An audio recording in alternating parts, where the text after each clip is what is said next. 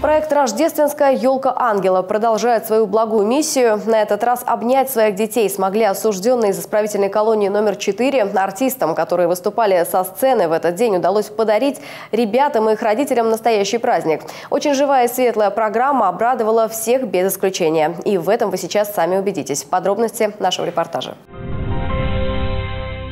Этот праздник, как никакой другой, на протяжении многих веков объединяет семьи у домашнего очага. Рождество приходит в каждый дом, даря надежду и принося счастливые мгновения. Уютным и семейным получился праздник в Федеральном казенном учреждении «Исправительная колония номер 4» УФСИН России по городу Санкт-Петербургу и Ленинградской области. Рождественская елка ангела собрала вместе родителей, оказавшихся в сложной жизненной ситуации, и детей, видящих своих отцов по часам. Им нет и пяти, но навстречу они пришли максимально подготовленными. Сам по лесу Дед Мороз, мимо кленов и берез, мимо просек, мимо пней, шел по лесу восемь дней. Он по полу проходил, ярких бусей наледил. В эту ночь под Новый год он ребятам их снесет.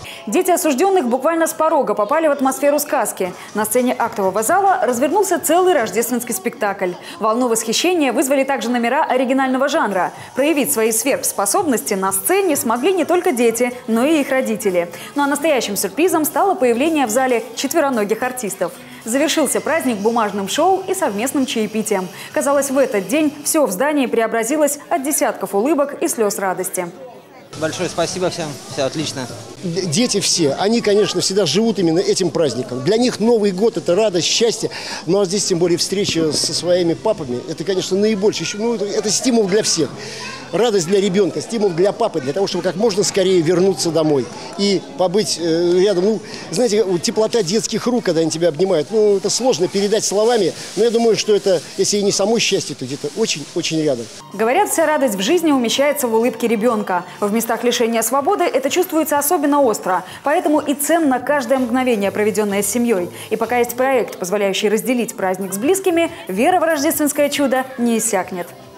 Инесса Буланкова, Алексей Рожнов. Новости ТБН.